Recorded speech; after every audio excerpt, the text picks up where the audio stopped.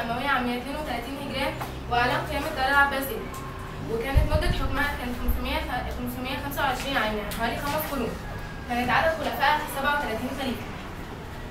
وعاصمتها الكوفة ثم الأنبار ثم بغداد. وأخذ المؤرخون حتى قسموا الدولة العباسية إلى عصرين العصر العباسي الأول والعصر العباسي الثاني.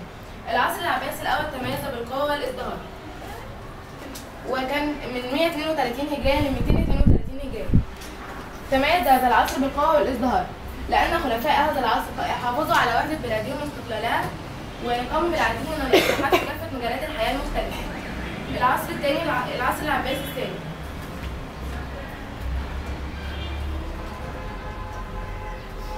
كان من 232 هجرية ل 656 هجرية وتميز هذا العصر بالضعف والانهيار بسبب أن ضعف الخلفاء وظهور من الدول المستقلة وطمع الخزاعي والصليبيين والتتار وكان من أشهر خلفاء هذا العصر.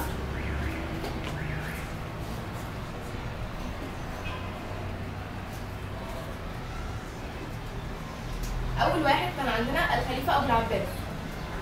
كانت مدة حكمه من 132 هجرية ل 136 هجرية. وهو اسمه آه، هو عبد الله بن محمد بن علي بن عبد الله العباسي. آه، ومن أهم أعماله آه، أسس قواعد الدولة العباسية. وجدد جدد الطريق بين مكة والكوفة وزوده بالمنارات ونقل مقر الخلافة إلى الكوفة ثم إلى الأنبار. كان عندنا تاني واحد الخليفة أبو جعفر المنصور.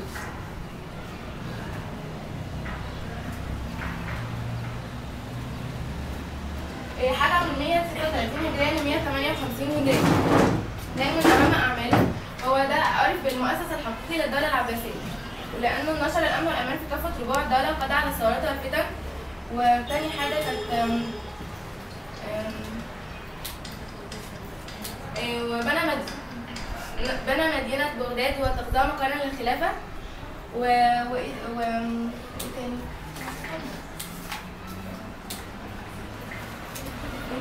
و- وراقب الولاة وحسبهم كان عندنا ثالث واحد الخليفة هارون الرشيد.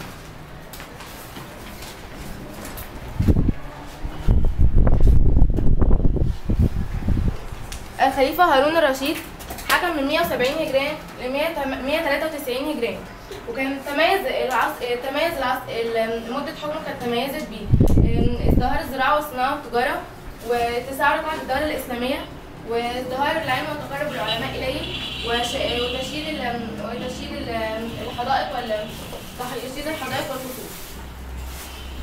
الخليفة الرابع الخليفة المأمون.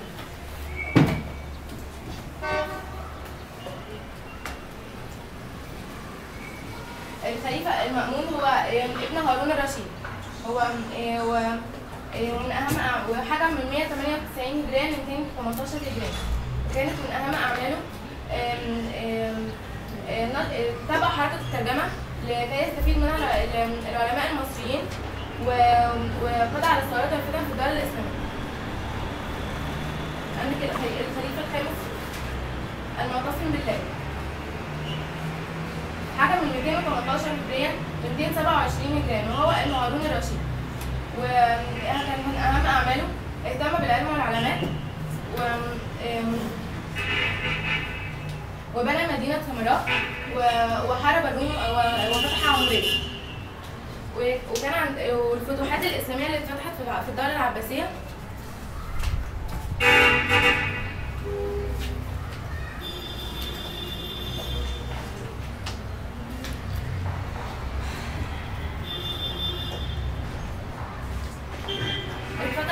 الشمال أرمينيا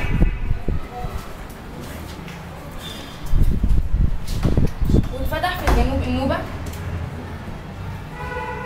وفي الشرق بلاد ما وراء النهر. وفي الغرب المحيط الأطلنطي.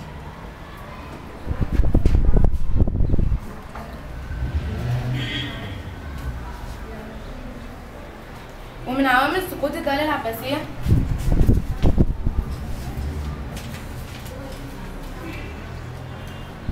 كان عندنا أول حاجة سيطرة الدول غير العربية على على سيط- كانت في دول غير عربية سي- آه، سيطرت على على الدولة العباسية. ف تاني حاجة كان عندنا زيادة أطماع. زيادة أطماع الدولة العباسية لاتساع رقعتها. كان عندنا صراع بين أبناء البيت العباسي. بسبب زيادة بسبب طال الحكم لأكثر من واحد. كان رابع حاجة ضعف ضعف الخلفاء.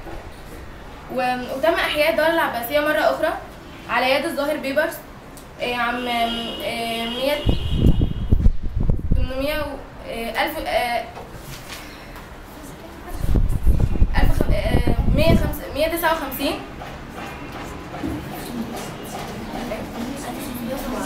659 هجري أنا قصدي على الهجري. 659 هجرية 1217 ميلادية 1261 و 1261 ميلادية.